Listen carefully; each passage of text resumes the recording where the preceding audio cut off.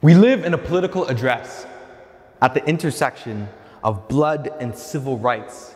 This is how the plot thickens. Picket the picket fences. After all, what is a fence if not a cage for those we call neighbors? Who needs zoos when we have the suburbs? Here, the cars practically light themselves on fire.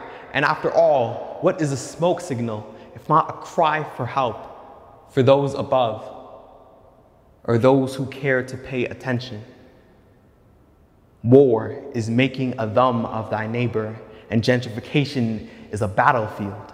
This world is a carnivore. It will devour any divine body with wings, or any body wearing Nike flights, or anybody in need of air, their air. The death of unarmed black boys echo on cop radios like top 40 songs, destined to fade into the background like camouflage or ghosts. The revolution will not be televised, especially since we've already become reality TV.